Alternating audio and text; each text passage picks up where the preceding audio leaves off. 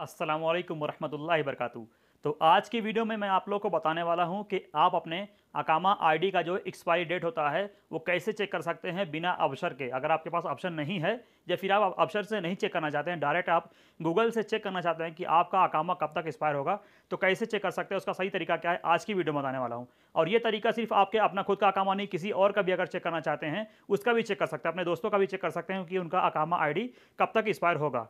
तो चलिए वीडियो शुरू करते हैं। वीडियो शुरू करने से पहले एक छोटी सी रिक्वेस्ट है कि अगर आप हमारे चैनल पर नए हैं तो प्लीज़ चैनल को सब्सक्राइब कर लीजिए और बेल आइकन भी दबा लीजिए ताकि आने वाला मेरा हर वीडियो का नोटिफिकेशन आप तक पहुँचता रहे सबसे पहले। तो चलिए वीडियो शुरू करते हैं। तो सबसे पहले मैं यहाँ पर अपना जो वेबसाइट में उसमें चले जाता हूँ तो यहाँ पर मैं पहले सेव कर रहा हूँ, यहाँ पर मैं इसको ओपन करता हूँ।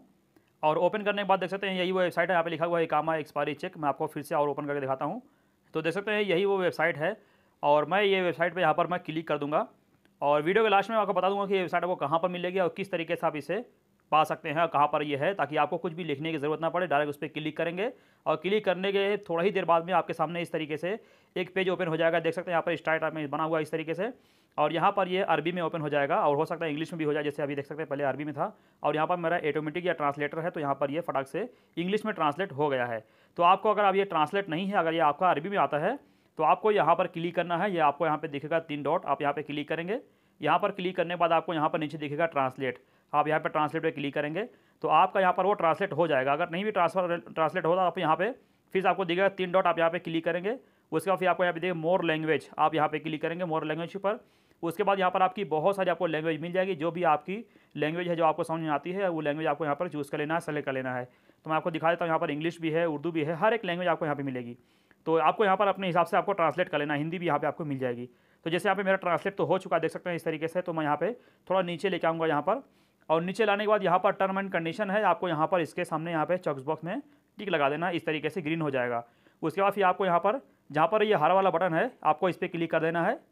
यहाँ पर मैं हरे वाले बटन पर क्लिक किया तो ऊपर यहाँ पर अभी ये देख सकते हैं ओपन हो रहा है, अभी ये ग्रीन वाला यहाँ पर चल रहा है। और यहाँ पर ये जो पेज है ओपन हो चुका है, लगभग देख सकते हैं, यहाँ पे यहाँ पे ओपन हो चुका है।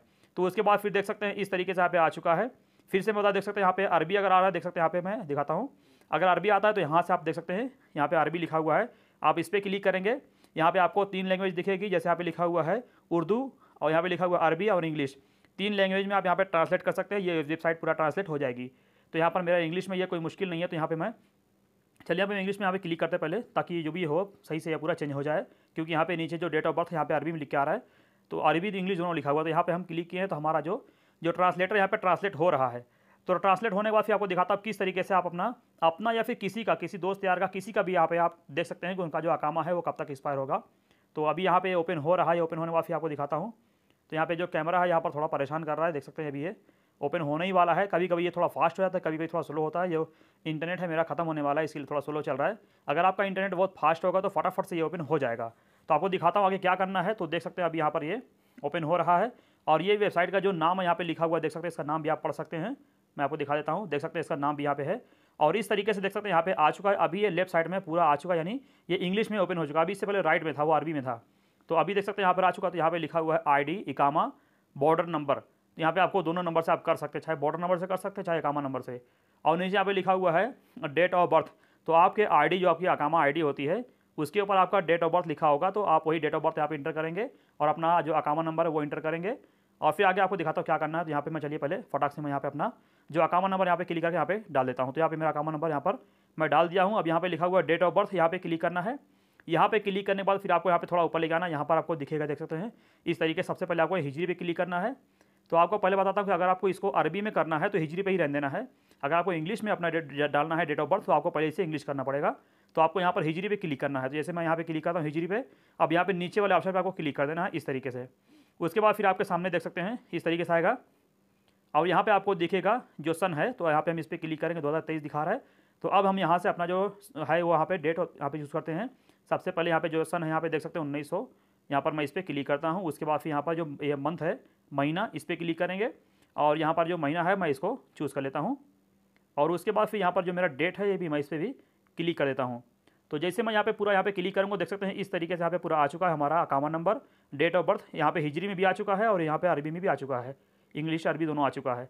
अब यहाँ पे आपको दिखेगा इमेज कोड देख सकते हैं एक ये नंबर दिख रहा है। ये जो नंबर है, आपको यहाँ पर डाल देना है। अगर ये नंबर आपको समझ में नहीं आता है, कुछ आड़ा लिखा हुआ है, ये तीर आइकन पर आपको क्लिक करना है, ये नंबर चेंज हो जाएगा।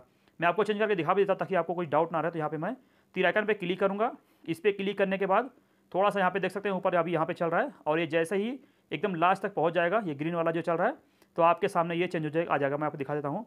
हमारा अकाउंट नंबर डाला हुआ है पहले से ही और यहाँ पर देख सकते हैं, नीचे लेके आएँगे तो ये देख सकते हैं, ये कोड चेंज हो चुका है। तो हम यहाँ पर आप क्लिक करते हैं और ये जो कोड है यहाँ पर हम देख देख करके यहाँ पर इंटर कर देते हैं। तो यहाँ पर हम क्लिक करेंगे और यहाँ पर लिखा हुआ है वन सेवन तो हम डाल देते हैं वन सेवन उसके बाद फिर ज़ीरो टू यहाँ पर ज़ीरो, टू और फिर आगे यहाँ पे लिखा हुआ ज़ीरो, एट। तो यहाँ पे हम डालते हैं ज़ीरो, एट।